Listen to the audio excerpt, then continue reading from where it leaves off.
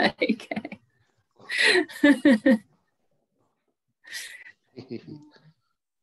so I've been asked to introduce Ajahn Brahm as a very prominent member of early Buddhism who takes the Dhamma Vinaya, okay, the Thai forest tradition. But I, I don't know if that's, yeah. yes, the Thai forest tradition is bigger than just the Wat Pah Pong branch of monasteries. And so, anyway, that's a mute point. But I think the point is, that Jan, that you um, you take the Buddha as your refuge and guide. So, oh, yeah. Yes, we're just messing around here. Sorry for that. put me on the spot. Okay. Yeah. no, so let's get started. It's okay.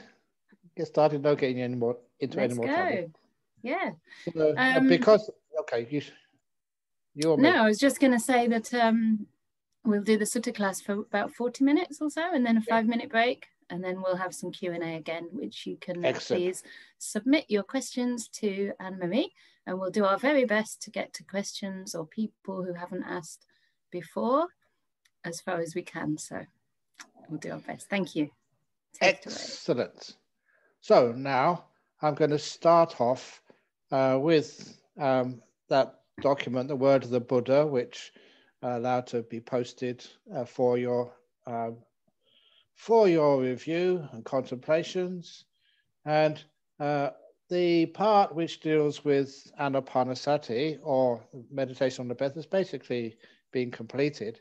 So for a little bit extra here, I'm going to start on page 24, and this is the uh, two extremes and the middle doctrine. I'll read it out first of all, and then I'll just say a few words about it. And obviously, you'll have an opportunity later on for questions, and there'll also be a few other really interesting parts of the Dhamma to be said afterwards. And I want to try and finish off, if I can, with the seven uh, people in the water ceremony to describe what enlightenment is in an easy way. So here we go. This is from Samyutta, uh, the uh, Nidana Samyutta, all about dependent origination, and the 15th sutta there. The two extremes and the middle doctrine. Venerable Sir, it is said, right view, right view. In what way is there right view? This is important, the first factor of the Eightfold Path, in a way maybe you haven't seen before.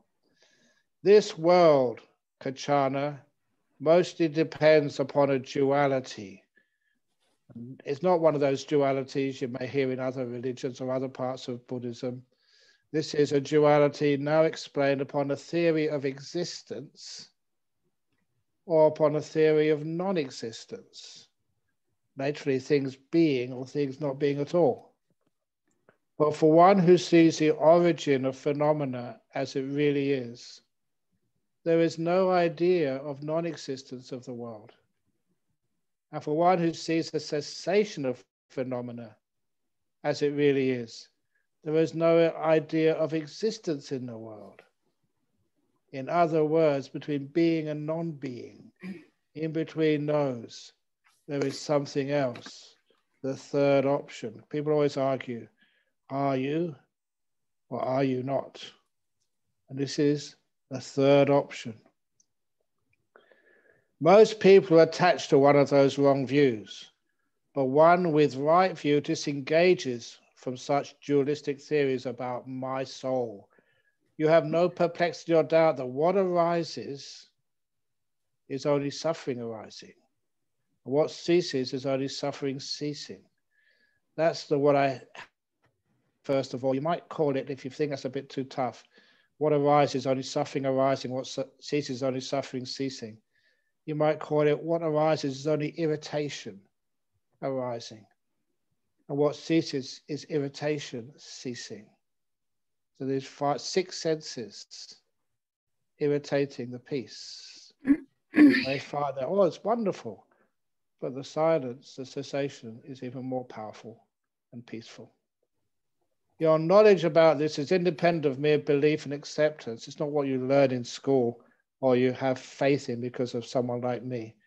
It's independent of faith or doctrine. It's from your direct experience. In this way, right view. And to make it clearer to explain further. Phenomena exist as one extreme. Phenomena do not ex exist as a second extreme. Without fearing to either of these extremes, the Buddha teaches the Dhamma by the middle. This is another middle way. And what is that middle way? With delusion as the cause, volition arises. With volition as arises, then um, consciousness arises. This is dependent origination. Just in brief. And then the Buddha continues.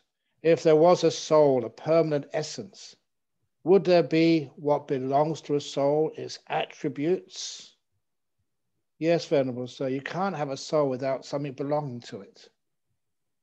Its attributes. Or if there were what belongs to a soul, would there be a soul? Yes, Venerable Sir.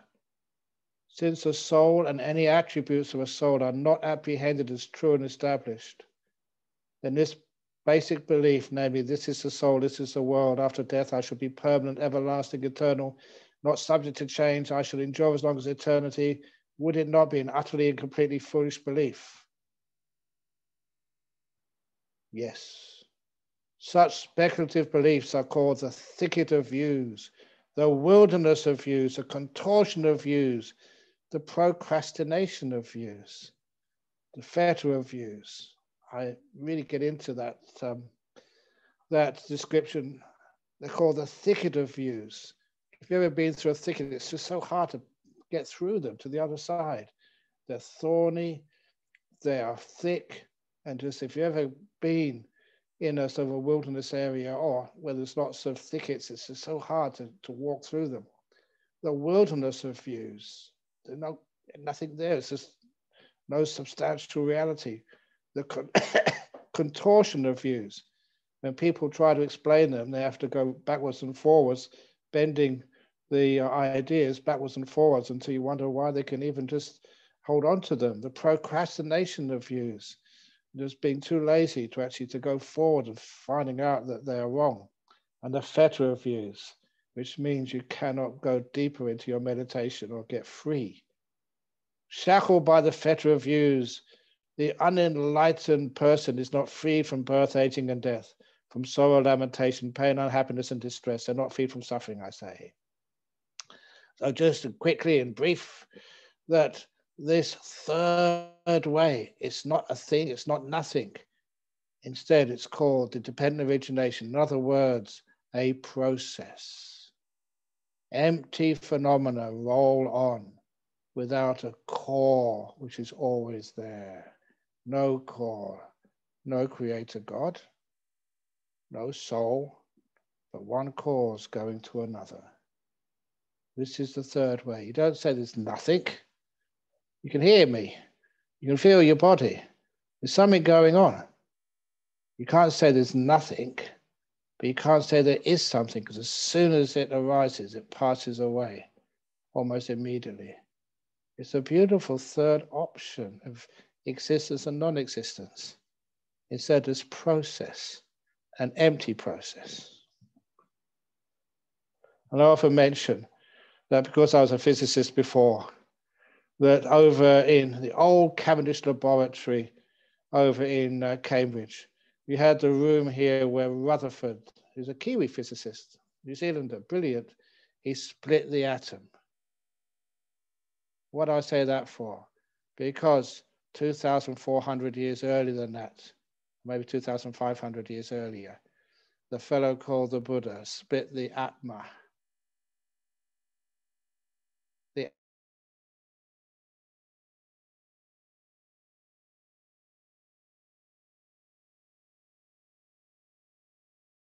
Like the atom in physics. The word atom is a Greek word. It comes from indivisible you're not supposed to be able to split it up. Something which is the essence of physical stuff, the atom. And of course, a great Kiwi physicist split it up, showed it wasn't so the essence of material. This is the way the Buddha split the Atma to realize that too is splittable. It's not permanent. It's made of parts. It's a process with no unsplittable permanent essence, a core inside. And I need some more linguistics who uh, understand the connection between Greek and Sanskrit. But I'm pretty sure that there must be a great connection there between Atma and Atom. But anyway, that's for another time. Now, uh, what's the point of that? It is because that once that process stops, it's not that something has been annihilated. There was nothing there, nor was there something. It was in between. The third option, a process, an empty process, is now finished. Nothing has been destroyed. And we'll come on to that in a few moments. Now, the body and the mind. This is Samyutta 1261. This is also the Nidana Samyutta. And this Nidana, again, dependent origination of key teaching of Buddhism. The unenlightened worldling might experience revulsion from this body, let its importance fade away and be liberated from it. Why? Because growth and decay are seen in this body. Even my body, sometimes I look at a picture of me when I first ordained. I was young and handsome and fit, but no, no longer. My body is decayed, and I can see Avenel Canda's body in front of me now. You know, her face, that's decaying really fast. so we're all getting older and decaying. Ah. So you might feel revulsion to this body. And why? Because growth and decay are seen in this body. Moreover, it is born and dies, and you don't have any doubt about that. But that which is called mind, chitta, or that which is called mentality, that's mano, or that which is called consciousness, vijnana. Now, again, this may be a pedantic point, a fine point, but the Buddha uses the adjective wa, v long a, which means or, not and. That which is called mind, or chitta, or vijnana consciousness, we all have different words for it. This is the way people use words, not as a, a lawyer or a philosopher, but all the people in the street. That which is called, you call mind, chitta, consciousness, or whatever, the unenlightened worldling is unable to experience revulsion towards it. Let its importance fade away and be liberated from it. Why? Because for a long time they have held, appropriated, and grasped the wrong view. This chitta, this mind, this consciousness, whatever you call it, is mine. This I am. This is the permanent essence. Buddha saying very clearly things like original mind, cosmic consciousness, the ground of all being, because people have held that for such a long time, for many lives, they find it difficult to experience turning away from it. And they still hold that that is the permanent essence in which they find refuge. But what does the Buddha say? This is from Majjhima 72 which is, if I'm not mistaken, is the Aggi-Vacchagotta Sutta. Suppose a fire was burning in front of you. This is the Buddha, this wanderer, uh, Vacchagotta. Suppose a fire was burning in front of you. Would you know that a fire was burning in front of you? If someone asked you what this fire burned in dependence on, how would you answer? you would answer that the fire was burning depending on the fuel of grass and sticks. If the fire was extinguished, would you know that the fire was extinguished? Yes.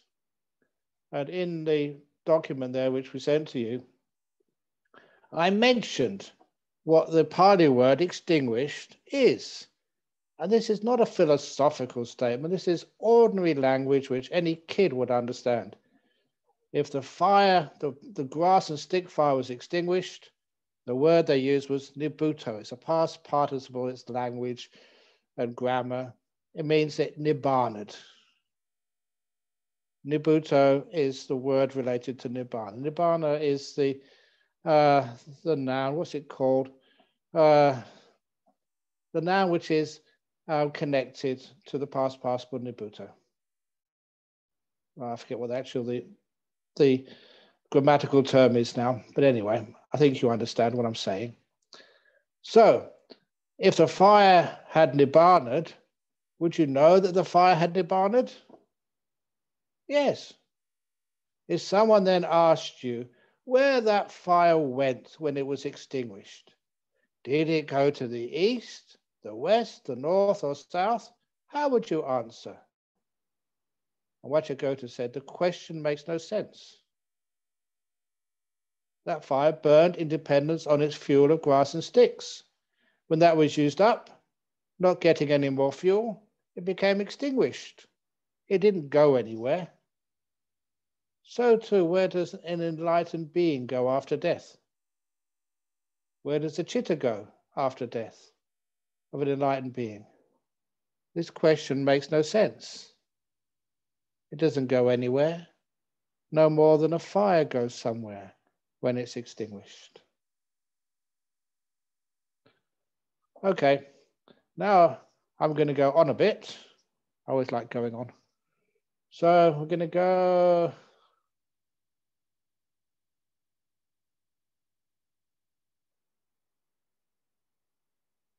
on to the stream winner.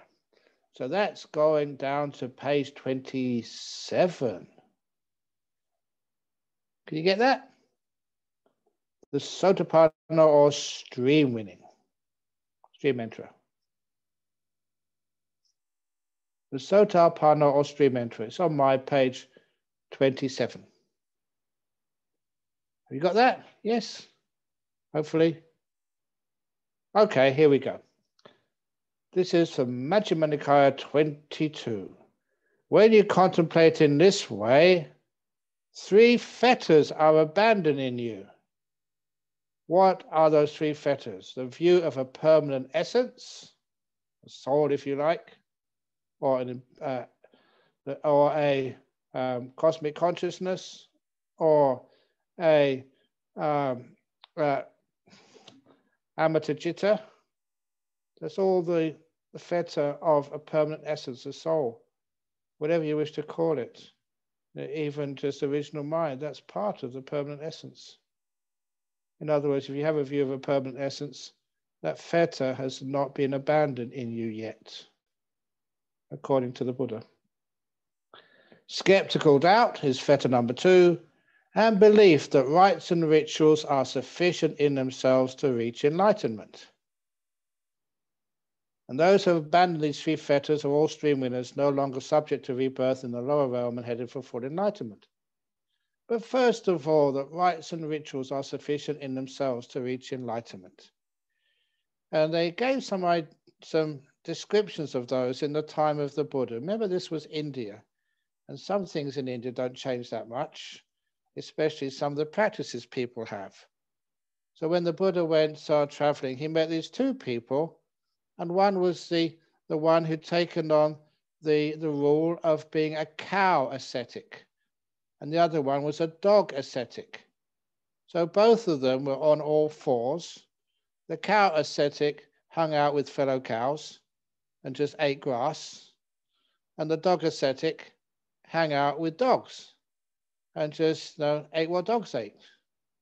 And they did that because it was a very tough and difficult thing to do a lot of pain and suffering.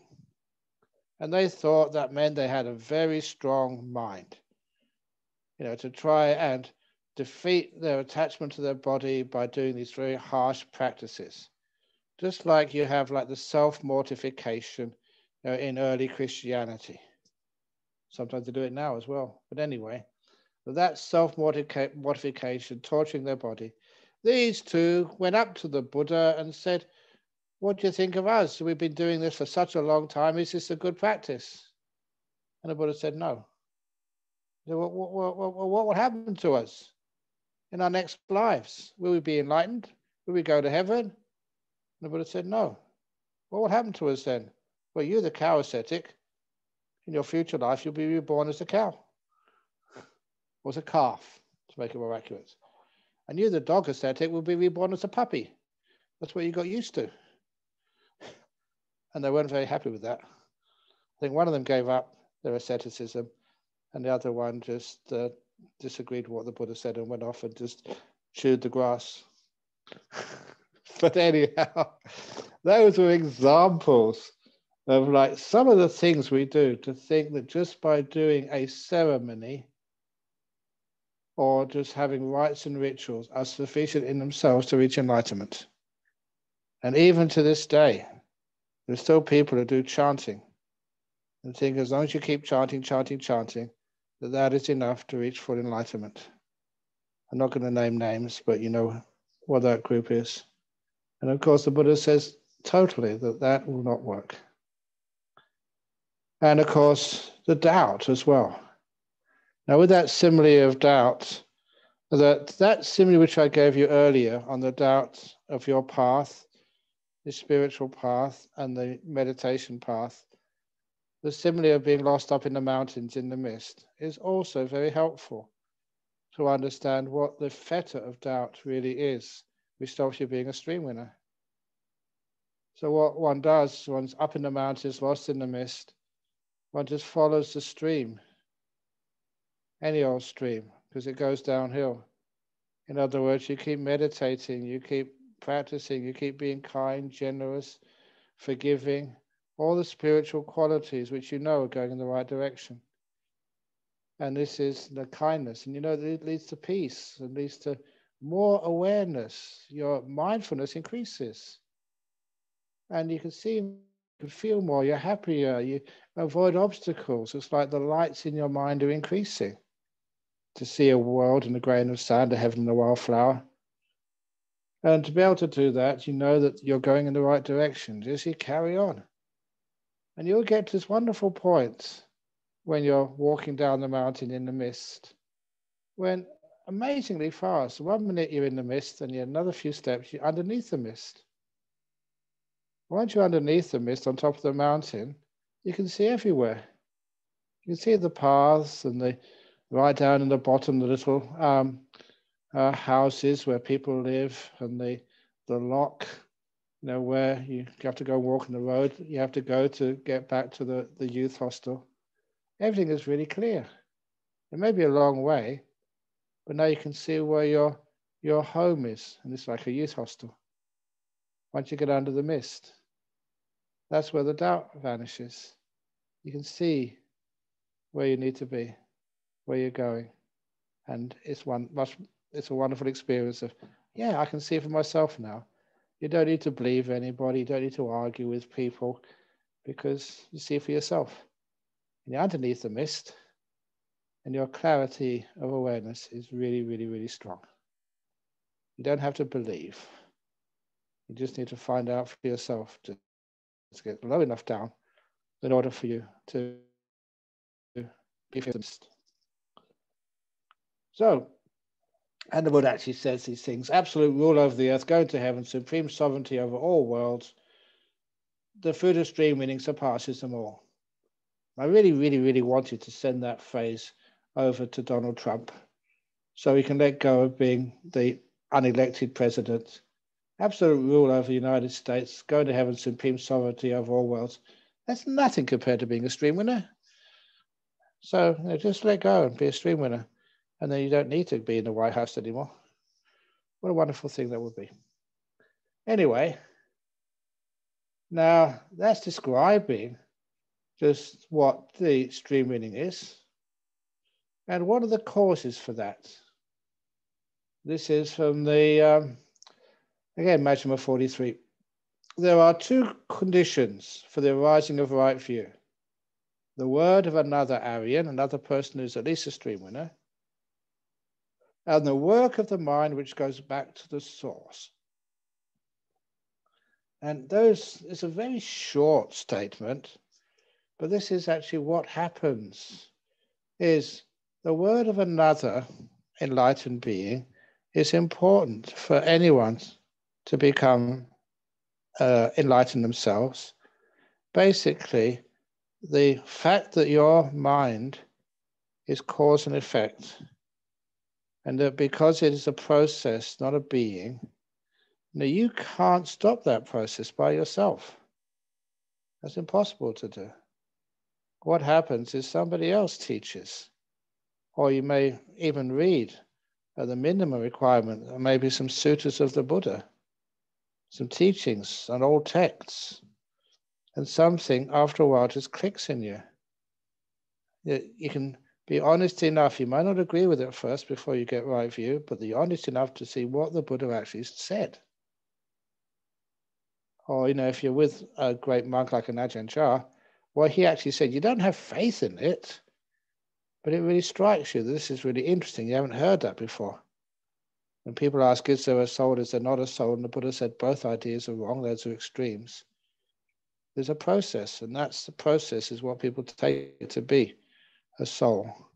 And when you see it clearly, it doesn't really deserve the word a soul, it's not permanent, it's just a cause and effect process which goes on and on and on, one thing causing another. And if you want to know an example of that, one example which I like to give to people is you always try and get nice, simple, um, simple similes. And this is the one of the, the mango. Because, you know, I like mangoes and it's actually actually getting to the end of the mango season here in Perth. But last week I had some really delicious mangoes, you know, locally grown, and they were this is this time of the year. So anyway, that you eat a mango, mm, yummy. And after you eat the mango, you got the seed. What do you do with the seed? You put the seed in the ground, you dig a little hole, put it in the ground and uh, cover it and just uh, let it germinate.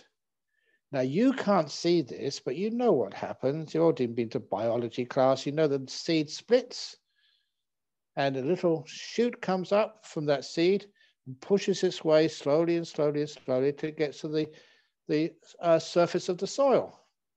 And if you're watching, you can see a tiny little, like a bit of grass coming out of the ground.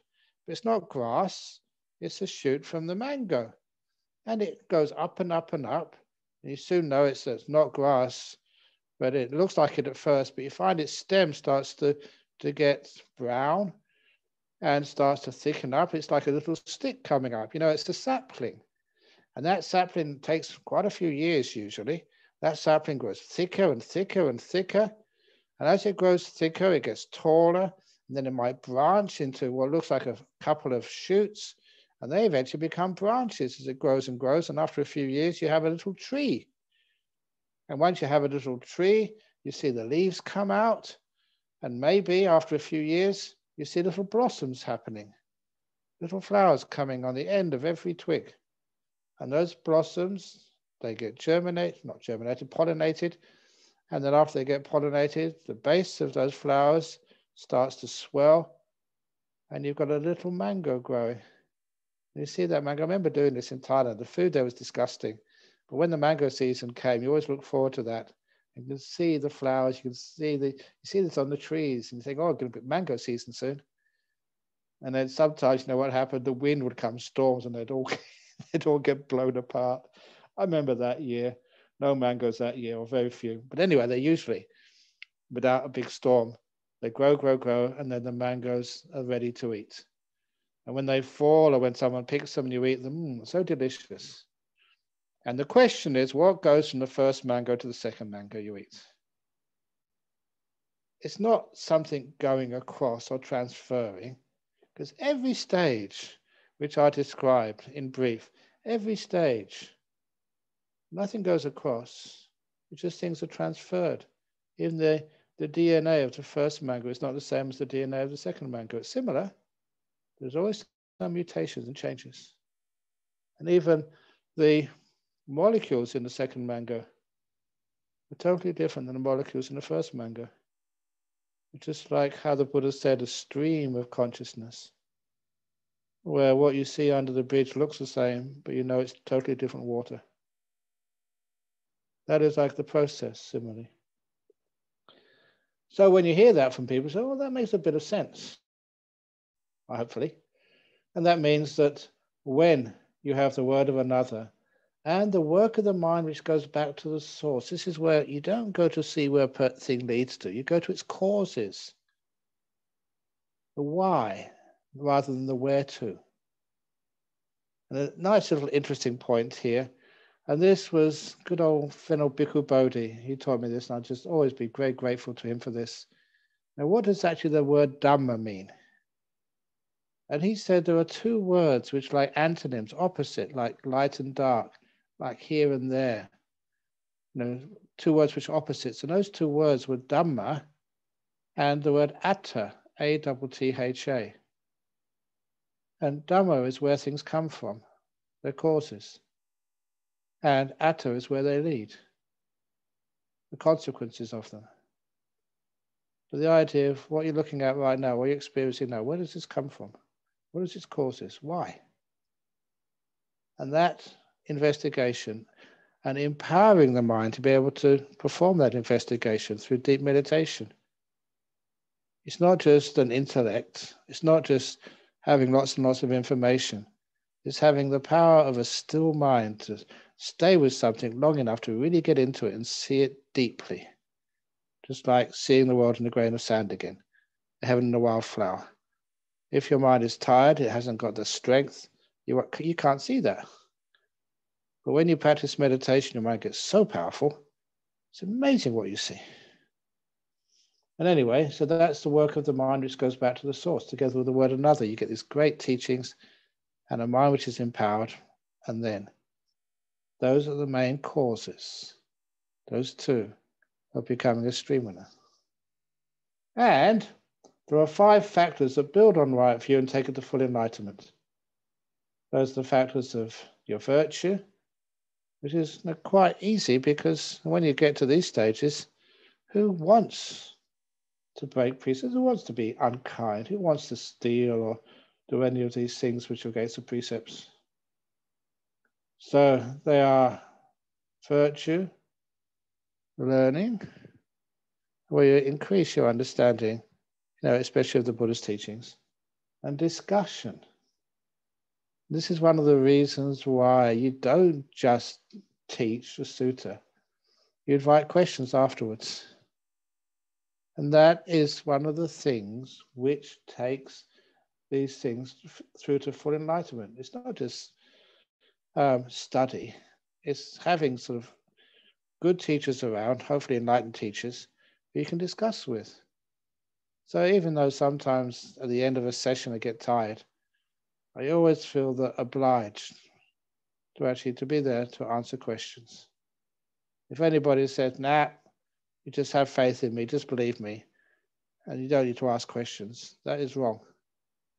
Even with Ajahn Chah, it was amazing that you could ask questions of him, any questions, and he would respect you for asking questions.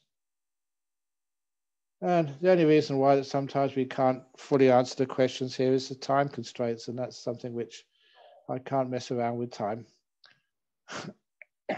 half an hour is half an hour, and so there's stuff stuff you can do in it. So I apologize for that. And stillness and insight, samatha vipassana. So those are the things which take it further. So it's your precepts, your understanding by learning and discussing, and your practice of meditation, your stillness and insight. Now, I'm carrying on with this. this takes it a bit deeper, but I think it's worthwhile saying this. Friend Visakha, this is a great. Um, oh no, this is not the uh, Visakha, the um, layperson. This is, I think, a bhikkhuni or something, a bhikkhuni talking to a bhikkhu. One who is an Aryan cannot regard the body, experience, perception, will, or consciousness is any type of consciousness, being the five khandhas, the components of existence. You cannot regard those as a permanent essence, nor a permanent essence as possessing any of these five components of existence nor any of the five components of existence, the five khandhas, as within a permanent essence, nor a permanent essence as within any of the five components of existence. That is how Sakkaya Ditthi, the personal view, is abolished. In other words, how you become a stream winner. And this is an explanation which is um, it doesn't supplant what the Buddha said, but it makes it much clearer by using a simile. So, one who is at least a stream winner does not regard the mind as a permanent essence. any type of mind, like the flame and hue of a lamp. So you've got a, a light, in those days, like a candle or an oil lamp. You don't regard the flame and the hue of the lamp, the color of the lamp is the same.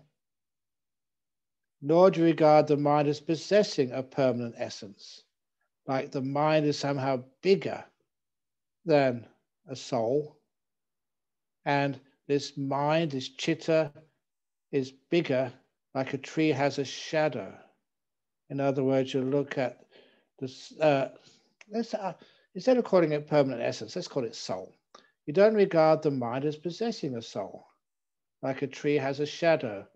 In other words, this mind, is chitta, is really big, and the soul is just like this how it's it's um, um, shown to the world, like a tree has its shadow. Nor does regard the mind as within a soul. As so the soul is something really huge. Most of it you cannot know, and the mind is inside of it, somewhere like a part of it, like a cosmic consciousness, and your consciousness is within it just like the scent is within a flower. And it does not regard a permanent essence as within the mind, and not a soul as somehow inside your consciousness, like a jewel in a casket. And that was how the Buddha taught. Just all options, just knocking them off. So the only thing left is to understand that this mind is chitta, whatever it is, wherever it is, however it is, any type of size, cosmic or usual, is impermanent. Non self, doesn't last. So um, I'm just going to go down a bit more because, as usual, running out of time. So if you can go down a little one page, the stream winning and a seven in the water simile. Now, this is very attractive for me because it's a very hot day today. You know, sometimes as monks, we're not allowed to go in the, the water. But, you know, sometimes today, or just to soak off in the water, that'd be nice and cool off. It's not really appropriate to talk about this in England right now, which is really cold. Stream winning and a seven in the water simile. Very, very easy there are these seven kinds of persons, similar to those in the water. One who goes under and drowns. That means one with bad qualities. Number two, one who floats on the water and then drowns, meaning good at first, but then bad qualities dominate. And three, one who floats and keeps their head off water, I mean, the good qualities become ever stronger. And you can see these three as human beings in this world. And some are just you know, quite bad from the very beginning, and they just don't get any spiritual growth. They drown in the world of the, the pleasures and the, the violence. Someone who sort of starts off floating, but then the bad qualities dominate. And the third one, one who floats and keeps a head above water. I mean, the good qualities become even stronger. They're good people. And fourth, the above, one who keeps their head above water because of their good qualities, and then who looks around and sees safety. They can see the shore. So one who sees the safety, they're in the water, now they can see the shore. That's called the stream enterer. In other words, you know where, where, where you're going and you know no doubt anymore. You've seen the shore, you've seen sort of the dry land where you can just eventually rest and relax and, and just disappear. And number five, the above who is swimming to safety, meaning the once returner. These are the four stages of enlightenment. So you start off by seeing the shore, and then of course you're going to try and get to that shore. You know, you can swim there then the fifth above, who says swimming to the shore, and they can feel solid earth underfoot. They're really close to the shore. And that's called the non-returner. And lastly, the above, who is safe on dry land, meaning the Arahat, the fully enlightened one, who is not yet parinibbana, disappeared. This is the enlightenment with the khandhas remaining. So those are the seven similes of the uh, people in the water. So it starts off your good quality, and your generosity, being a really good person is important. And then from eventually you can actually see where you need to go to get to safety. And that's just the, the, the view straightened up. You've got really good ideas. You know what you need to do. And then you're on the way. Practicing meditation, uh, living a peaceful life, being kind, uh, keeping precepts, being generous, being forgiving, all those sorts of things. I mean, you're a good person and you're on the way. And then soon you don't know really when. And so you can actually you put your feet down. Hey, it's dry land underneath. I'm pretty close now. And that's being like a, a non-returner. So close to enlightenment. And then from there, soon you're just walking on the shore. And at last you're sitting under the tree, under a beautiful coconut tree, having, if you like coconuts, find fresh coconut to drink. Or you find in some places that there's a nice little tea shop which sells good old breakfast tea with condensed milk. or if you like Earl Grey, I don't know. or you prefer coffee or whatever. In other words, you can relax and enjoy your time before you depart this existence forever. There's seven people in the water simile. Okay. So anyway, that's enough for today on the a few stories about uh, enlightenment, about uh, between two states of existence, uh, about the stream winner, and what happens after being a stream winner. Okay, I hope that's good enough for you. Whatever, that's what you're going to get. So I'll finish off now by the five minutes of uh, relaxation, going to the loo, having a break, and then afterwards we come back for the Q&A in five minutes time. Is that okay? Thank you, Ajahn. That's wonderful. Excellent. Very good. Okay. I'm going to mute myself.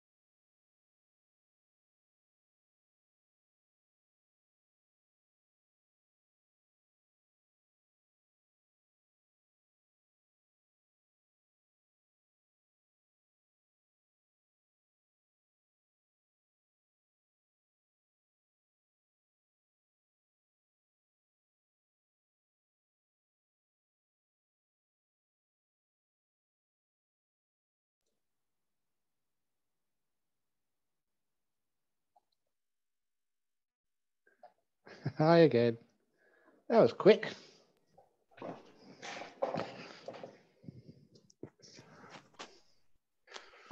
We might want to wait another minute. I can see people are still yeah. settling in their in their places.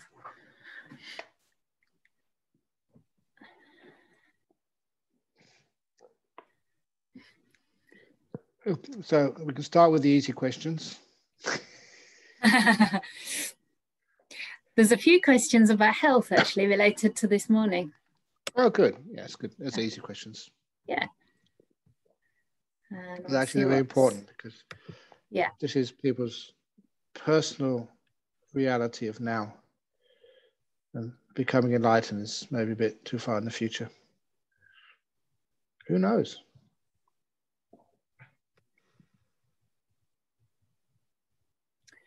Great. So let's see. There's a lot of questions, so we'll do our best. Okay. Shall we start? Nah, let's wait for another half hour. yeah, okay, let's start. Okay. So this person saying, I love your stories of hope for recovery for physical and mental disorders and feel a bit of a failure and question my practice when I listen to that. Because after years of battling post traumatic stress disorder related severe anxieties, her mother was severely mentally ill and committed suicide. Mm. Getting help with therapy and attending many retreats and practicing daily meditation, I've started to get mild anti anxiety medication and it's changing my yeah. life. Excellent my meditation and giving me so much more clarity, peace, and ability to cope with emotion. What is your view on medical treatment for severe anxiety or depression for practicing Buddhists? No problem. I have to take medication every afternoon. That's my cup of tea, which is again another drug. It's another medication. It's something which is more common because I got used to it and I enjoy it. I, sometimes I gone cold turkey for remember three months, deciding because I was challenged by other monks, "Are you addicted to it?" I said, "No, I'm not." Yes, you are. No, you're not. Yes, I am. Whatever it was. no. so I so I went I went without tea for three months. Easy. I had a nice nice time. But no, if the medication works, fine, because sometimes your brain there's some sort of chemicals in it which need to be balanced, and that's all that is. So if that's happening, just please take it. And for goodness sake, please, please never feel that you're a failure in life. There is no such thing as a failure in life. Just when you make a mistake, that's where we learn. If you didn't make any mistakes, if I never, uh, if I was af- afraid of being a failure, I never would have done anything. I would never given any talks, never sort of set up a monastery, never ordained bhikkhunis, because mm-hmm. you'd be afraid. Oh, what if I get failed? What if people criticize me? They criticize me anyway. You do it, you don't do it, you still get criticized. So you just do it and just have fun. And don't worry about being a failure in life. You learn, it's growth. So I don't really even understand what the word failure means or success. It's an adventure. And if this path doesn't work, you just go another path and find that and go another path. You learn so much in life. And it's good fun. Lovely. Thank you, Ajahn. Um, Hiranti's asking, can you please advise how to keep the breath longer in the present moment? You don't keep the breath longer in the present moment. The present moment is just here. The present moment is not long or short. The present moment is just here. So when you don't do anything, when you learn how not to control things, leave things alone, and not to measure. Remember that thing I said yesterday? It is actually when I first heard this, I thought, wow, I've heard something similar to this from the third Zen patriarch. This is Mahayana and I'm a Theravada, but nevertheless, whenever you see something really beautiful and wise, you know, you accept it, repeat it. And then this third Zen patriarch said that uh, the, the path, especially the path of meditation, is easy. People have no preferences. When I first heard that, I thought, wow, that's really deep and powerful There's good meditations, bad meditations, long meditations, short meditations. This is good, this is not good. That is where you create the stress in meditation, disturb everything. Stop measuring. Because when you don't measure, you can't control. When you don't control, I mean, I mean, really, it doesn't mean go out of control. It just you let it be. And that becomes so powerful. I'm not measuring. Not saying pleasurable, unpleasurable, long or short. In this moment, just now. To be able to measure, you need something to compare it to. In other words, the past. To control means you've got some plan for the future. In the meditation, you have none of that. No past, no future, really in this moment. And you just you can't measure. Imagine you can't even measure yourself. Ajahn Brahm, good meditator, bad meditator? I don't know. I'm not there anymore. So that's where you have so much freedom. Achieving, non achieving, attaining, non attaining, all that disappears. So there is no uh, success or failure when you leave the present, leave the past and future behind. Thank you, Ajahn. Okay, there's a question about this morning's talk about using mindfulness and kindness to overcome sickness. How can we adapt this to help a young woman suffering from PS, PTSD, post traumatic stress disorder, after a rape? Okay, how you do that? Uh, I'm going to take a bit more time here. Please excuse me because this was a wonderful story where I got invited to an organization in Perth a few years ago called the Australian Society of Survivors of Torture and Trauma. And it's not people survive not even a single rape, but many rapes, torture in these underground dungeons in many places in the world. And somehow or other they physically survived. But mentally, emotionally, they were still back in those torture chambers and underground dungeons And first of all, it is unbelievable they could physically survive what was inflicted on them. And just the sort of things which human beings can do on one another is just, it is really hard for me to, to, to embrace, not to embrace, to understand. But anyway, but what they did, they invited me there and I wondered why. And it's because they'd come to our temple over in Perth and they'd learned how to uh, are very successful. It doesn't always work, but it works for so many of them. People who are subject of trauma or rape. What they do is that when they feel reasonably safe, obviously they've got you've got to feel comfortable before you meditate, that no one's going to come and beat you or abuse you, which is why that's why there's people who are counselors, therapists, good nuns, good monks. After a while, you feel so safe with them. You feel so accepted. You don't have to prove anything. You don't have to protect anything. And then they sit down, they do this little meditation of closing their eyes, relaxing their body enough. And then they imagine in their chest a heart, like a Valentine's Day heart. And they imagine that heart has two doors, double doors and imagine those two doors opening. And it usually takes much more time than this. I'm just going over it in brief. Those two doors open up, and inside is the person they feel comfortable with, the person they feel safe with, the times and the memories which weren't traumatic, the love and kindness and, and happiness and laughter in their life. That person is inside. They look outside and outside of their heart, on the concrete, on the ground, in the cold, in the rain, unloved, unaccepted, is that little girl who was raped, little boy who was just beaten for no reason, the person who was tortured just because they wanted to fight for some sort of freedom in their country. All those parts of you are outside alone, rejected.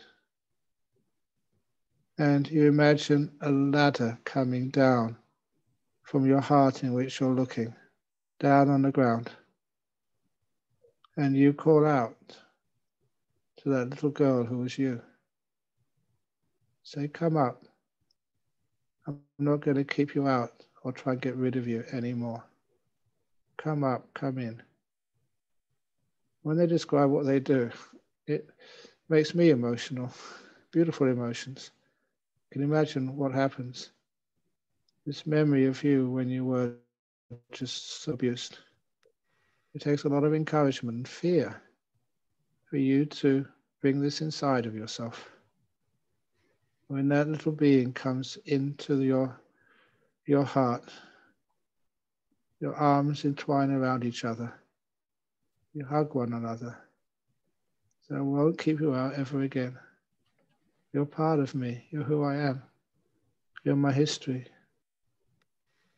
And then when you find these women who told me this, mostly women, they say once they accept that terrible thing which happened to them, it's a, a catharsis happens, a change.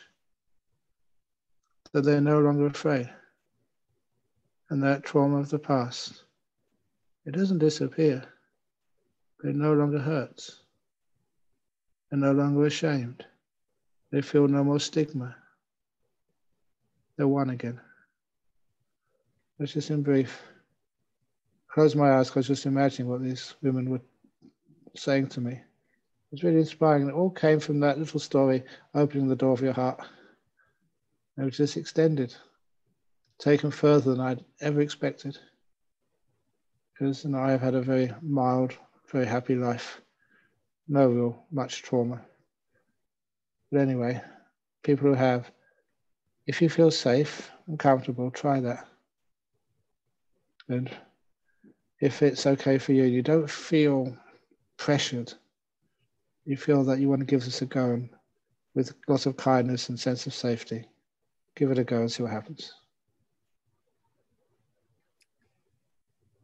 Thank you, Ajahn. Okay. Beautiful. Okay, so someone's asking how to be kind to physical pain or the body when one feels depressed or emotionally exhausted and cannot generate any warm, fuzzy feelings in the heart. You get an assistant. In other words, that's why I just have little bears around the place. Some people think Ajahn Brahm's gone crazy. If you come to my retreat center, there's a whole heap of bears. It started with one bear which we bought out from Ajahn Sujato. And then from there, I, I, don't know what happened at night time. Maybe they're not keeping the eight precepts because they're procreating or something. We've got hundreds of bears in there, teddy bears, in our retreat center. And I can see one of them on the shelf behind me, uh, behind Venal Canda, sorry. And those bears are just a wonderful, easy way of generating some warmth. You know, just they're really soft, they're non-threatening, you then you don't have to do anything with them except just to cuddle them. You feel this beautiful warmth. That's how you can generate warmth. And even if you've got very small amount of energy, it's as if you're cuddling that. It's giving you safety, warmth, and it creates an opportunity to, to, to light the fires of kindness inside of you. Even when you're depressed, the energies, the low energy of depression, is just relieved. Good energy comes up. And then you've got this wonderful kindness. You know, sometimes when people are really sick in the hospital, depressed, sometimes it just takes one other person to smile at you, to be kind to you, and to even just to you know, give you uh, a tap on the shoulder or something. That little acts of kindness, they mean so much. They're small they generate something much bigger. And so, because it's difficult to touch people these days or even smile at them because people think, what the heck are you up to? Especially religious figures, So unfortunately. So, you have little teddy bears, and teddy bears have never been sued for, for malpractice. so, so, teddy bears are safe. So get yourself a nice teddy bear and start with that. And I think you'll probably notice it makes a huge difference, which you never expected, and it's so simple to do. Thank you, Ajahn. Okay, so someone's asking, my house plant never moved its big leaves. Yesterday, something moved its leaves with a bang and it broke my meditation. Can a supernatural thing break our peace? Thank you, Venerable Ajahn and Canda. These are the best days of my life. Yay! That sometimes supernatural things can occur, but they're usually something else. You know, it's just the time that leaf had to fall, or the wind blows it, or something knocks it. But sometimes, you know, I've seen that, and as a theoretical physicist, you no other explanation. It's something sort of supernatural. But even if it is supernatural, a ghost or something, you are more powerful than ghosts. So you can actually tell that supernatural being, be quiet, shut up, stop disturbing my meditation. Scold any supernatural powers who try and disturb you. They're making bad karma. and and if if they don't listen to you, just in your mind tell them that you just made some very bad karma. I'm going to tell Ajahn Brahm about you. Ah, no, please, sorry, I'll never do it again. um, it's not such so much a joke. That's actually quite true. What happens? That sometimes there are some beings who play around, and most people can't hear them. But if you do hear them, just tell them to be quiet. You're meditating. You don't Great. need to let them disturb you. Yeah. Okay. This question is uh, What is the balance between being kind to others, hoping to nourish the good in them with love and kindness, and being kind to ourselves when the outside hurts, especially with extremely difficult people who continuously hurt us? Aren't we being unkind to ourselves if we're kind to them against our peace? Yes. So they have this wonderful saying to love the tiger at a distance. In other words, you've got somebody who's causing you a lot of stress and unhappiness, and then give them, send them love, but not right up next to them. Otherwise, they'll bite you and they'll hurt you. And also make sure you've got lots and lots and lots and lots and lots and lots of love inside of you so you can actually give something. A lot of people try and make all beings be happy and well. That's a lot of beings you're sharing your, your energy with. Ask yourself, have you got enough energy to share with others? So instead of just going, share, may all beings be happy and well, look at your poor little self and say, oh, may I be happy and well. And give yourself a good hug. You know, it's the other thing which a monk is not allowed to do, to hug people. For two reasons, because, you know, sexual abuse allegations, if I hug someone, you know, they'd probably get a court order against me. And also in COVID time, you've got to have social distancing, so you can't sort of you know, hug anybody. You might catch something. So instead of hugging people, I worked out this wonderful way where everyone can get a good hug with no allegations of sexual abuse, no catching of anything you haven't already got. That is putting your hands out, bringing them in, and hugging yourself. and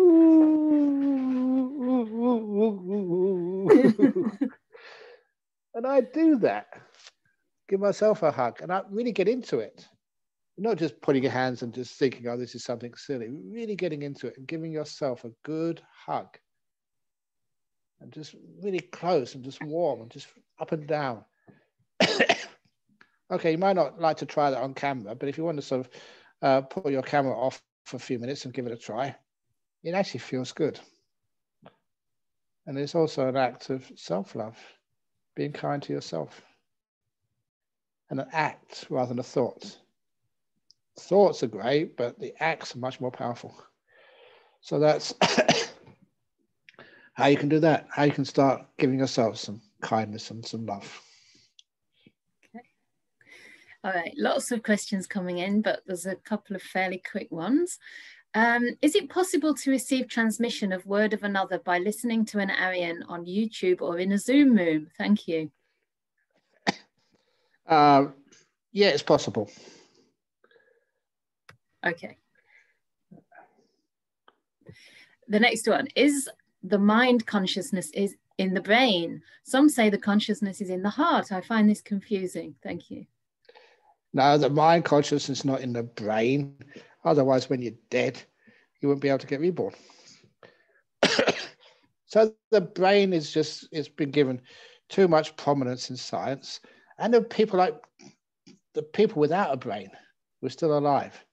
A wonderful article from Professor John, John Lorber, Sheffield University. It's a while ago now, but he was uh, doing research into the shape of human skulls and found this boy. He was an honors, he was a graduate in mathematics doing masters, so a brilliant fellow.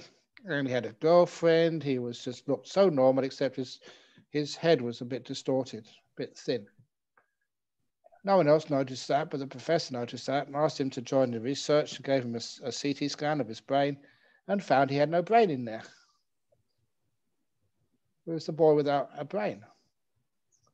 And it had like a 1% cortex just on the outside, and then just cerebral fluid in the rest of his brain. And that's never, never in any way enough to explain how a person can have a girlfriend, um, uh, be able to speak, be able to a great student in mathematics, and be so-called normal on the outside. And I remember just going to Sydney once and just talking about these things. And one of the doctors there, he was a Buddhist, and he said, "Yeah, I've seen that CT scan. It was done several times because they too thought there was something wrong with the machine. It's real," he said. And he said, he turned around to me and said, Look, Ajahn you wouldn't believe how much problem that is giving to neuroscience. Because it's real, it happened, and it just totally challenges what neuroscientists think. And what happened to it, it was just put in the anomaly, um, the anomaly tray, and not really taken any further. So this is like consciousness without a brain. And of course, it happens when people have near death experiences floating out of their brain. What happens when people die and remember their past lives? What happens under hypnosis when you may have some uh, some Greek trauma to your brain? The brain, the memory's been locked away or thrown out of the brain, but under hypnosis, you can remember it. So the brain is not where the mind is. Where is the mind? Okay, here we go. That this is my friend uh, who's had a daughter and first year at school in UK. Was it grade one or year one, whatever you call it these days? And teacher asked the question, what is the biggest thing in the world? And one kid put her hand up immediately. You know what grade one kids are? They're just so enthusiastic. My father is the biggest thing in the world, said one kid. No, no, no, no, no. An elephant is much bigger than your father. No, no, no. A mountain is the biggest thing in the world. They all had this biggest thing in the world ideas. And the daughter of my friend, so my eye is the biggest thing in the world. And everyone stopped at that. It's absolutely brilliant. My eye is the biggest thing. Said, how come? said, because my eye can see her daddy, can see a mountain, can see an elephant, and so much more. If all of that can fit into my eye, my eye must be the biggest thing in the world. Pretty good, but not complete, because your mind can see everything your eye will ever see, and it can imagine things you'll never see in the real world. It can hear, smell, taste, touch, and has its own field of knowledge. In fact, everything you can ever experience or will ever experience can fit into your mind. So your mind is the biggest thing not in the world, because the world can be experienced in your body.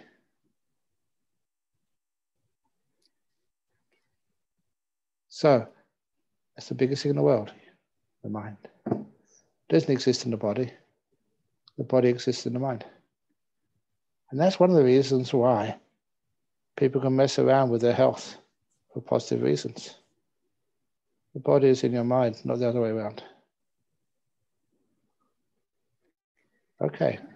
Okay. There's loads of questions from people who haven't really asked at all during this retreat. So um, okay, might have to come here. Try and get them all in. So um, someone's asking about that simile where the uh, flame goes out. Oh yeah. So they're saying that um, in nature the fire does go somewhere because it transforms into ashes and smoke. So it is a transformation, not an end. How does this tie in with enlightenment? Is enlightenment then a transformation of such? No, the fire is not the ash or the smoke, that's the fuel being combusted. So the actual the flame itself is the the image of the combustion occurring giving off heat. But the flame is not the heat. This is the light. Where does it go? Where does it come from? Where does it go? So it comes from a fuel. And when the fuel is exhausted, the flame disappears. Where did it come from? You might say it came from the match, but you know, that's just passing the buck, kicking the can back down the road of time. In other words, this is a phenomena, a light. And when the fuel disappears, so does the light disappear. You are that light. When the fuel vanishes, especially the fuel of wanting something, of desire, craving, when that fuel is exhausted, so are you. Okay. Okay. Thank you. Okay. The next question is the assumption of a me just the accumulation of worldly, worldly experiences in this life? Yeah, well, it's a bit simplistic to say it's accumulation of worldly experience. It's something which we've assumed, something which we've been told is right, something which we use to get by in life. So that, you know, when they ask, you know, that when you go to see the doctor, say, what's your name? Shows your cards and stuff. All this stuff which we identify with our passport, our name, our gender, our age, our whatever, all those things. After a while, you look at those things and is that really me? Of course, it's not. Now, I've got a degree, but I, have forgotten most of it by now. So, really, I shouldn't really call myself uh, a graduate. I've never passed anything these days. So, you know, who are you? And oh, okay. I here we go. I'm going to spend a bit of time on this. Sorry, but I'll try to get as many questions answered as possible. But last year, a year ago, I went to uh, I went on it online because I'm getting old now, and I thought I can get a, uh, a Commonwealth Commonwealth of Australia um, elderly people, senior people's card and I didn't really need one. I thought, well, well, I can, so why not? And so I found out that yeah, I qualified for one, but I had to go into the offices to actually to get approved because they were thinking it might be identity fraud. So I made an appointment. I went into the local um, social security office. They call it Centacare in Australia. I went in there, made the appointment, and uh, there's a lady, very nice lady. I sat in front of her and said, "Oh, we called you in because you have to prove you know, who you are. Who are you? And I said, you know, being Ajahn I said, I've been a monk for 46 years, and for 46 years, I've been trying to find out who I am. And she didn't think that was funny. Sometimes my jokes fall very flat. But anyway, she said, look, I need ID, okay? So show us your driving license. I said, I'm a monk, I don't have a driving license. Oh, okay. Well, show us your your um, house ownership. Oh no, your bank card, first of all. Show us your credit card. I said, don't have one of those. Your bank accounts? No, I don't have a bank account. Don't have money in any bank. Your pension card? I don't have a mini pension. Your uh, place where you live card? I said, uh, I know, I live in a cave, but I don't own it. And said, well, your rental agreement? I don't have a rental agreement. Don't pay any rent for a place where I stay. And they asked all these questions. I didn't have any of these documents. They even asked, and this is no joke, they even asked, show us your marriage certificate. I said, I don't have a marriage certificate. And all the usual pieces of paper which you usually have to prove your identity, I don't have. I'm a monk. This poor lady got really upset and said, Well, you know, basically, you don't exist. And according to Social Security, according to the government, that's true. I don't exist. And I said, Yay, the Buddha was right. I don't exist. And she got upset at me again. She said, Look, this is serious. I've got work to do. But fortunately, I had two passports, a British passport and Australian and a Australian passport. She said, I'm not really supposed to accept this, but this is good enough. So she gave me my senior's card. It's so hard for a monk to prove who they are because we don't exist. Yay. so who are you? after a while, you find all those cards, the bank accounts, the details, your achievements, your failures, all of those. That's not who you are. Anyway, I better carry on with some questions, otherwise I can go on talking for too long. Yeah. Okay. Um, I wanted to ask for advice on how to balance taking metta and compassion into daily life and work without being taken advantage of or being seen as a pushover. Okay. Uh, when I do marriage ceremonies, just in brief, I look at the bride and said, Right, you're now a married woman. From this day on, you must not think of yourself. Yes, she agrees. Look at the, the new husband. From this day on, you must not think of yourself. He says yes too. Still looking at the husband, I say, From now on, you must not think of your wife, the girl sitting, standing next to you. And quickly I look, turn to the wife and say, Same for you. From this day on, you must not think of your, your husband. And they get really confused. And I love that moment. I tell them, once you're married, you must not think of yourself, nor must you think of your partner. Once you're married, you must only think of us, the third option, doing it together. And that third option, people usually miss that. If you're in a relationship, so often you get burnt out because you're always thinking of what you need to do for your partner. And some people, they're just so self centered, you only think, what's in it for me? It's not about you, it's not about them, it's always about us. Life is a relationship. So when you're with other people, it's not just serving them, otherwise, you do get burnt out. But it's about us. You're in it together. So that third option answers, answers the question. That way you don't get burnt out. Okay, next question. Okay. Sometimes during the past practice of sitting meditation, I feel like my arms are extremely long and solid like a rock. It's not unpleasant, but I wonder what's happening to me. Do you know what's going on and if it's normal? Yeah, it's normal and it's great. It's good fun.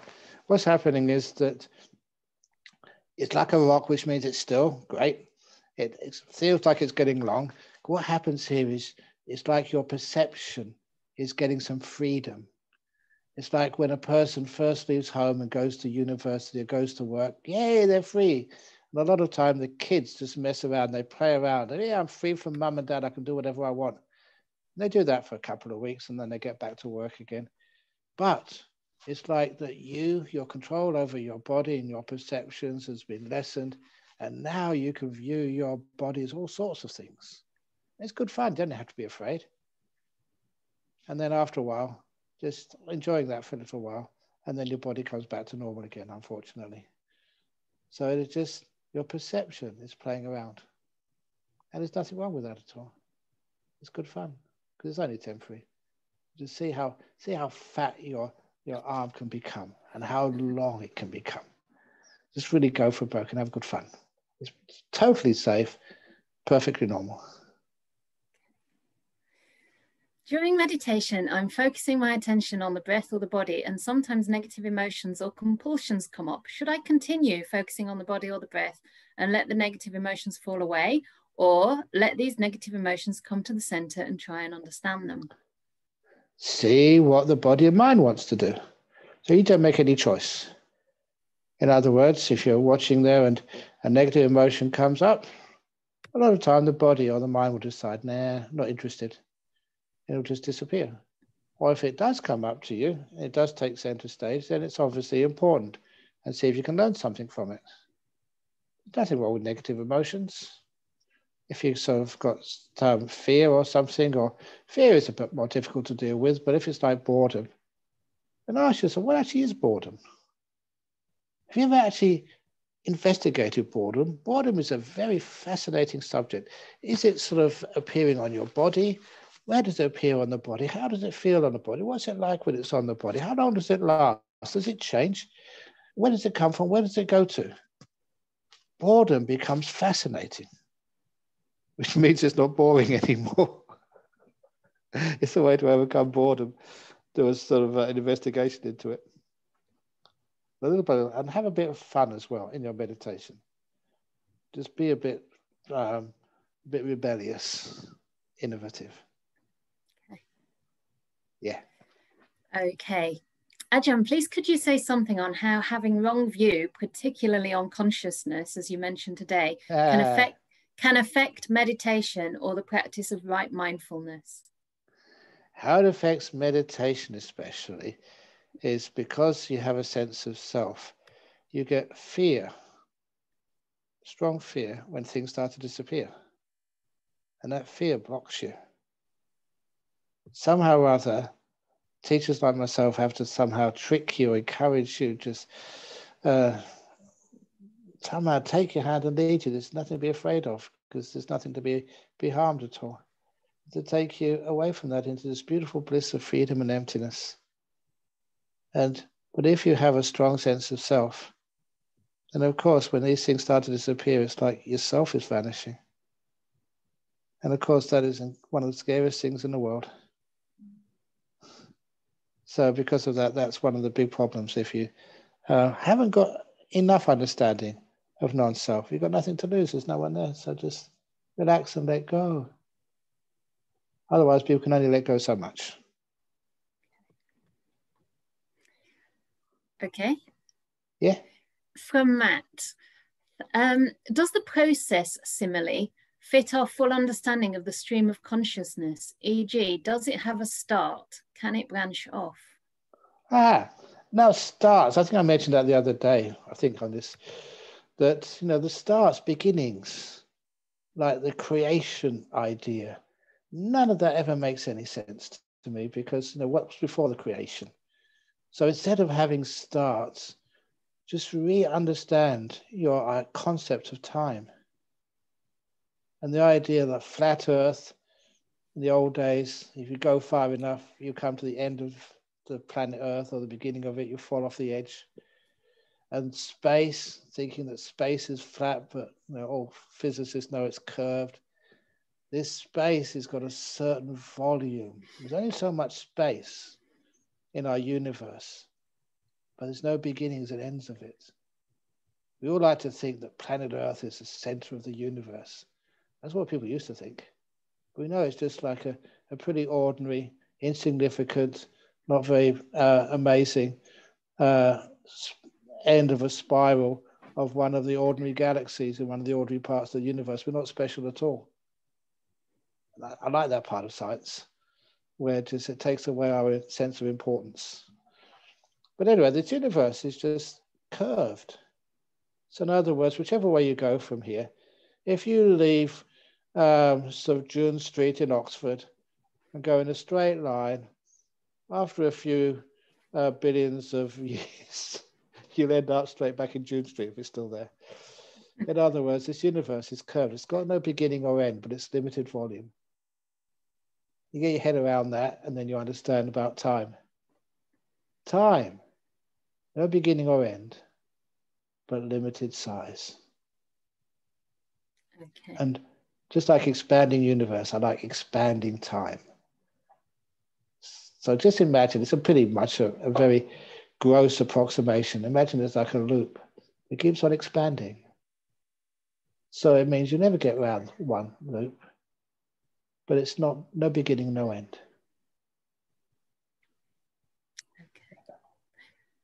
Okay. Okay. There's at least yep. another five or six. I mean, there's many, many questions. Maybe well, well keep keep okay. asking. It's just okay. when we run out, we run out. Okay. All right. Um, the Buddha was elaborating clearly why there's no permanent essence, but nowadays I think it's more common to believe in annihilation that comes with the end of life or death. How does the Buddha refute that? Oh, because it's not that hard to remember your previous lives. The evidential support of that. There's many people who can remember their previous lives. Uh, then you just need one person. If just one person's been reborn, then that totally destroys the idea of annihilation. If one, why not many? Why just one person can remember their previous lives? And this is not just a memory of, of being some crazy person. This is real hard memories which are validated. People check up on these and they find actually this person actually existed in the past. There's too much evidence against the annihilation of a human body and a human mind. These five khandhas, five components of existence, ceasing when a person dies. Haven't anybody actually experienced a ghost? A person who's died? and actually just know, there. the body's gone. The mind is, stream of consciousness is still happening. What the heck is going on? There's far too much evidence to show that this consciousness, stream of consciousness, is not the brain and survives the death of the brain. So it's just supporting evidence is far too strong to even think the idea that you can have just, just one life and suddenly it ceases. Unless you're enlightened. Okay. So Dill's asking from today's teachings, being mindful in the present moment and practicing kindness and stillness is a priority over experiencing arising and passing away? Aha, experiencing rising and passing away. This is from Satipatthana. And it does not mean what most people think. Just have a look in the um, Nidana Samyutta, how the Buddha described what is the arising and passing away. It's in my manuscript, Word of the Buddha, somewhere. You find it's what means arising and passing away is what is the cause of things like the body? What is the cause of Vedana, this uh, experience of feeling? What is the cause of the, the mind, the citta? Why does the mind come into existence? And what causes it to cease? And those are what the Buddha meant, udaya and uh, what is it? arising and Atagamana. Atagamana, yes. And that's actually what it really means. It's not rise and fall, like things coming up and going down. It's much more refined than that. It's what causes it to, to come into existence. So all of those satipatthanas, you're supposed to see what causes these things. That's the yoniso manasikara. The why did this mind arise in this moment? Why did this feeling arise? What causes it? And once you know the cause, you know the, how to cease it or how it ceases. Okay. So, a question on the jhanas here. Um, the German nun Ayya Khema said in her talks about the jhanas that the Buddha said it's possible to go from each jhana to another intentionally and not necessarily in sequence. And by her teachers in this tradition, I was advised to train in this. She also said that there's an observer in all the jhanas, and in the first ones, the body and senses have not completely vanished. For me, that's very contrary to your description, so I'm quite confused. Are there different opinions, perceptions, or understandings of the jhanas? I'll be grateful if you can clarify this. Thank you. Yes, of course, there are different perceptions of and understandings of the jhanas, but I am following the suttas. This is vivichehi kamehi, vivicca akusalehi dhammehi. Vivichehi kamehi means separated from apart from, secluded from the five senses. And the word kama, K long A M A, in the plural, always refers to the senses of sight, hearing, smell, taste, and touch.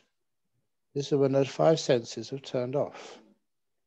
So there is no um, sense for a five sense experience in the first jhana, second jhana, third jhana, or fourth jhana. And that's how the, the how the Buddha described it. And is it the case then that she's saying here that the Buddha said it's possible to go from each jhana to another intentionally and not necessarily in sequence? Intentionally means that you make a determination. There has to be the sequence, simply because these things are parts of the first jhana. From there to the other jhanas, parts of the first jhana are falling away to get into the second jhana. Something is missing from the first, the second, second to the third, third to the fourth. And I haven't seen the Buddha actually saying that you go from one to the other, missing ones. Even in his Mahaparinibbana Sutta, where the Buddha, just Anuruddha was checking out if the Buddha's still alive, could read the mind enough to say go from one to two to three to four, then to the arupas, and then back again to four. Went in sequence.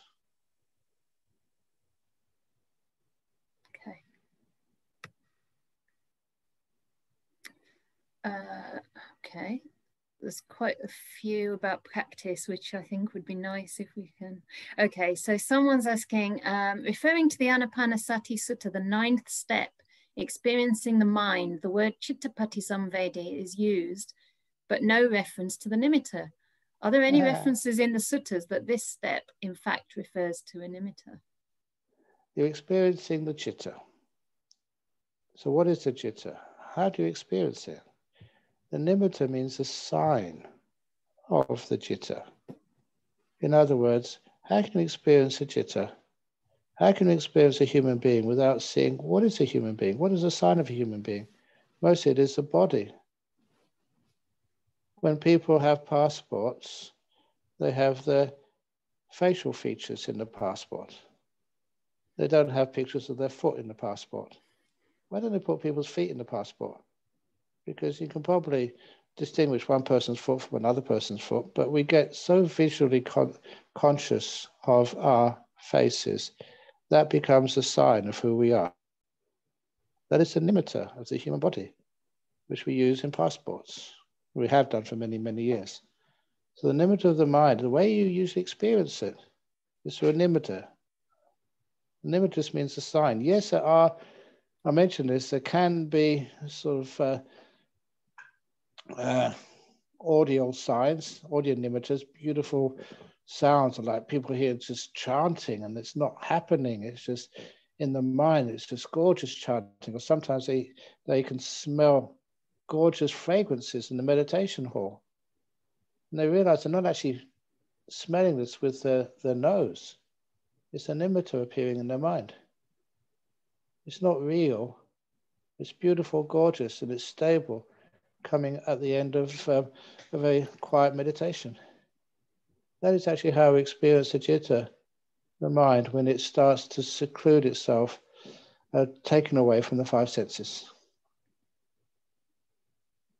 And you can actually have a look at the Upakkilesa Sutta and see if you can scrub out all the times that Bhikkhu Bodhi says, that thing on that light and put in nimitta, and it'll become very clear to you. Okay. Not just once, it's about you know, 16 times the nimitta is mentioned. Okay, so in today's meditation, I went back and forth in stages where my body and then breath started to disappear, but then came back again. This happened continuously, and I finally came out of the meditation. Can you please advise? It's wonderful. You're getting sort of some peace. So don't rush it. Don't want things. Because somehow you got sort of peaceful and you're getting sort of things disappearing. Why couldn't you go deeper? Why couldn't you even just stay there? It's because you know, I've got to be very careful when I teach the deeper meditations because people hear about this and they want it. And it's usually that is the fear or wanting stops you going deeper. So I'd advise you to, or recommend, the body starts to disappear. Just think, oh, this is wonderful. This is good enough for me. I don't need to go any deeper. I'm so happy with this. And then you go deeper. And you don't want to. In other words, when the wanting is not the obstacle for you anymore.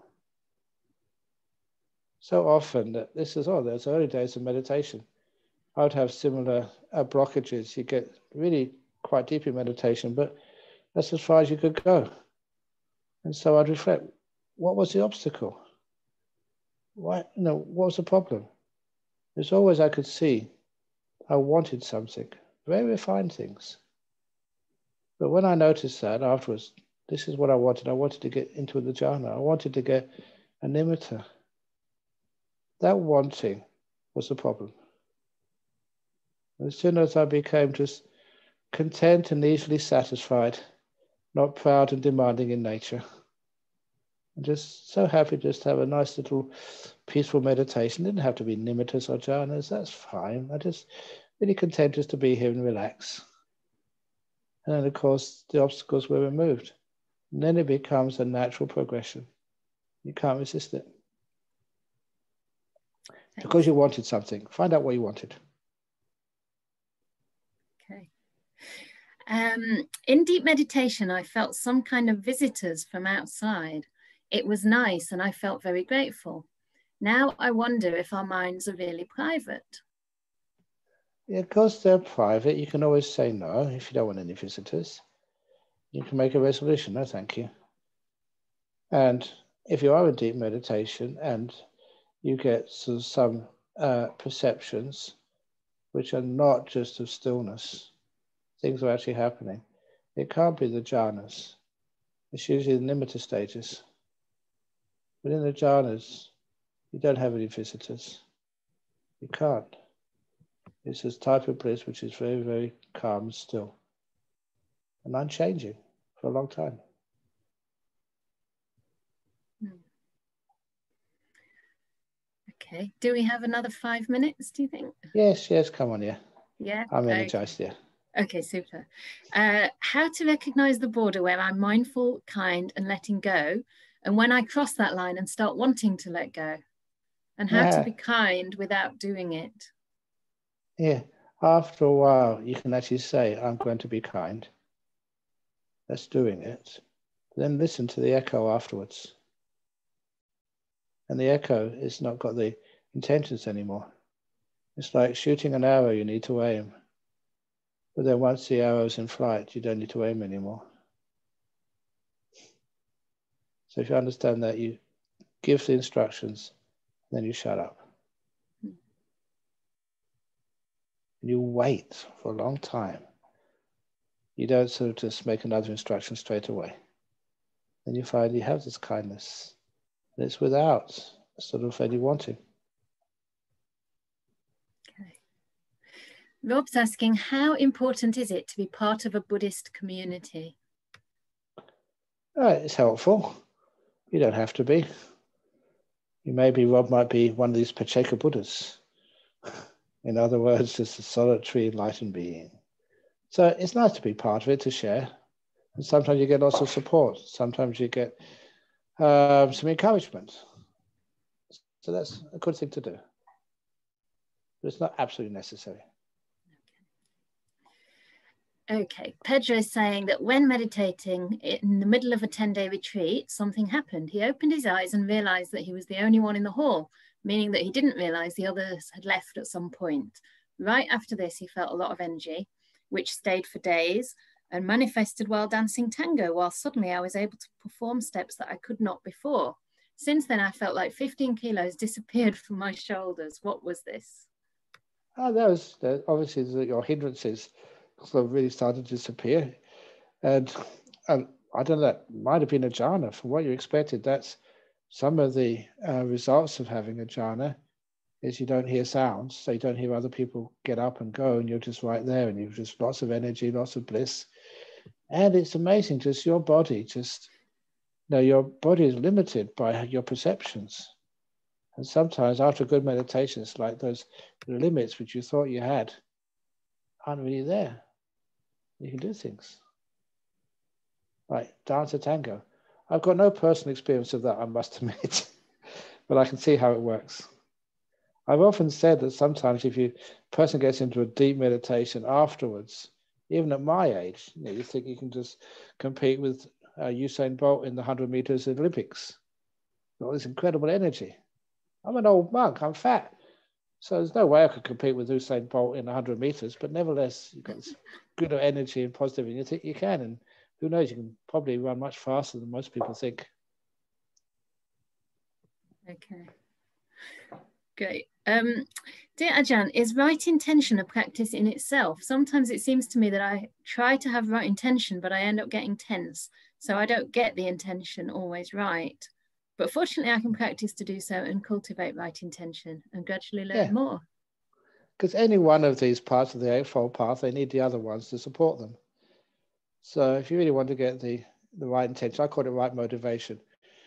Just motivations of letting go, motivations of kindness, motivations of gentleness. But you have to, you know, to really make those strong, have some right view. To really make them really work, it makes it quite easy when you start keeping your precepts you realize that right intention is what makes right the precepts. The samma, um, samma vaca, samma kammanta, samma ajiva makes them very easy. And of course, once you have um, intentions of letting go and kindness and gentleness, that becomes renunciation. And then once you have renunciation, the satipatthana is just obvious and uh, automatic. And then you get stillness. So you can actually start any one of those, but it, the other ones are brought in line with it as well. It's just one aspect of one path. Yeah. One more? Two more? Yeah, go on. Yeah, well, let's try one and see. Okay. Uh, from Fabrizio, why is it that to me it seems that sitting doing nothing is much more effective than watching the breath? Maybe watching the breath, I carry some wanting or ill will or controlling that I can avoid simply doing nothing. Great, yeah. I'd I'd approve of that, Fabrizio. Just sit there doing nothing. And you know, if the breath comes, the breath comes. You don't choose to do it. It just comes to visit you. Hey Fabrizio, how you going? The breath coming here. Yeah, I can be with you for a while. So you don't do it. In fact, doing nothing is pretty impossible. So I don't call it doing nothing. I call it nothing doing. Stop doing stuff. I think that's what you mean. But of those two, I'd you know, I'd encourage you to do nothing. Hmm. Okay. Um, another question just came in. Uh, with regards to bad beings causing problems, can they can take control of the body? How do you know the difference between this and energy movement in the body? There are no such thing as bad beings. It's just beings who do stupid things. So they're not bad. They're just a bit deluded. But those beings, they can't really get into your potty. It's very, very, very rare. Look, in all my life, there's only a couple of times I've seen people being possessed. A lot of other times, it's just a bit of imagination, not reality. So you don't have to worry about bad beings. Great. There's only Especially one more if, question. Oh, sorry. Okay, great. Yeah, especially if you're in a retreat center, because in a retreat center, bad beings can't come in. And this is people think I'm just exaggerating, but like, you know, if it's in like Bodhinyana Monastery where I'm sitting now, there was this case of this indigenous elder, indigenous elder, who was uh, going to come and visit us with another person. And this indigenous elder felt the power of Bodhinyana Monastery as he was coming in the gate and said, I can't come in here. He had to stay outside. And the person driving him just let him wait outside. And I thought it was very, you know, un- not a very nice thing to do. And then he told me afterwards, and I said, all you needed to do was get permission. If I'd have said, yes, he can come in, once you asked me, told he was waiting outside, of course he'd be able to come in. Same with any sort of other spirits, ghosts or whatever. You know, they, especially like good monks, good nuns, you know, your energy protects the place. The bad beings can't come into those sorts of places. So if you go on a, a residential retreat, amazingly safe. Sorry, what's the last question before I? Okay, yes. So the last one in my box is that I struggle to practice when working on the seventh precept about entertainment and med and meditate more. Basically, when they meditate more, they become more sensitive to stimulus. And after a while, living around a lot of worldly people, that sensitivity makes them too open uh, to negative stuff, desires, and aversions, and it creates more aversion than peace. So after a while, I usually go back to some worldly activities to desensitize myself again. Have you any advice on how to remain open and meditative and not get down by not very wholesome city surroundings until the times of moving away or ordaining. And that's from Piotr. Yeah. If at all possible, just you know, when you are in a city or a place, have a, your little room, have your empty space or create a bubble around you. And uh, if you do get sensitive to entertainment and stuff, then the sensitivity should actually be wise enough to see the not the niceness of it, but the negativity in it. You know, the first time I saw a TV after ordaining as a monk was after seven years. I was visiting a house, I think it was in Scotland, and I saw it through two open doors. And I just couldn't believe just how uh, unpleasant it was, how things changed so fast, and how the colors were just so raw, and how the noise was so loud. Things were much faster than real life. So investigate if you wish. You know, just watch a movie. I don't know why that's too long, but just know an advertisement on TV, and it's really gross. It's, object- it's objectionable. It's fast. It's disrespectful and noisy. And instead of doing that, just put your head out the window and watch the birds fly past. Much, much more fun. So it has to have a bit of restraint. Restraint based on wisdom, not because you know you deny these things, but as you see their, their pain. So be sensitive, but be sensitive to see the, the negative part in them so you can just avoid them. Wonderful. I hope that was a good enough answer because I was getting tired now. I can see that my mind isn't just working as fast or as sharp as it was when we started yes. the questions and answers.